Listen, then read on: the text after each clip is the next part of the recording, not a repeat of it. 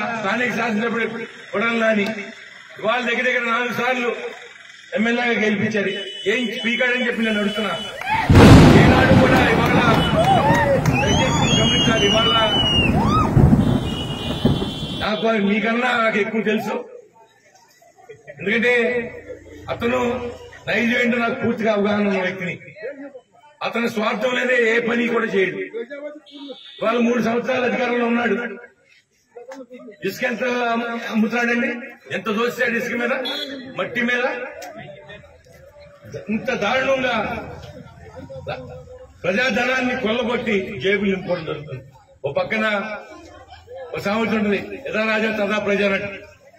జగన్మోహన్ రెడ్డి ఏమో జైల్లో పదహారు నెలలు కూర్చున్న వ్యక్తిని మనం ము- గెలిపించి ముఖ్యమంత్రి పదవి ఇచ్చాం ఏం చేస్తాడు డ్యూటీ చేస్తాడు రాష్ట్రాన్ని ఎందుకంటే ఒక తుగ్లోకి ఏ విధంగా చేస్తున్నాడు కేవలం మన స్వార్థం స్వార్థం కోసం జేబులు నింపుకోవడం కోసం రాజకీయ ఓట్ల కోసం రాజకీయాలు చేస్తున్నాడు తప్ప రాష్ట్రంని గాలి వదిలేశాడు దయచేసి వాళ్ళు మీ దగ్గర దగ్గర ఇరవై సంవత్సరాలు నాలుగు సార్లు ఓట్లు గెలిపించాడు కొడాలని నేను. అడుగుతుంది ఒకటే ఒక్క అవకాశం నాకు ఇవ్వండి.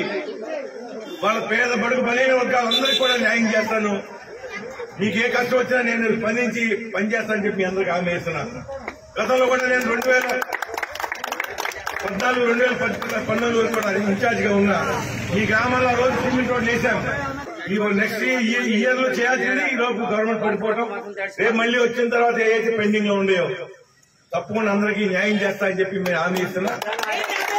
అది అధికార బలం ఉందని చెప్పి విర్రబీస్తున్నారు నేను కబడ్డాని చెప్తున్నా ఇవాళ వీళ్ళెవ్వరిని వదిలిపెట్టను ఎవరైతే మనందరం ఇబ్బంది పెట్టారు కార్యకర్తల్ని ఎవరికైతే ఇబ్బంది పడ్డారో వాళ్ళందరికీ న్యాయం చేస్తారు. మేము ఆ అధికారులు అందరూ కూడా తక్షణమే యాక్షన్ తీసుకుని వాళ్ళకి చట్టపరంగా ఏ విధంగా చేయాలో ఆ విధంగా చేస్తానని చెప్పి మీ అందరికి హామీ ఇస్తున్నాం. అందరూ భయపడకుండా వాళ్ళ నా మీద కూడా కేసులు ఉన్నాయి ఇబ్బంది పడుతున్నాం.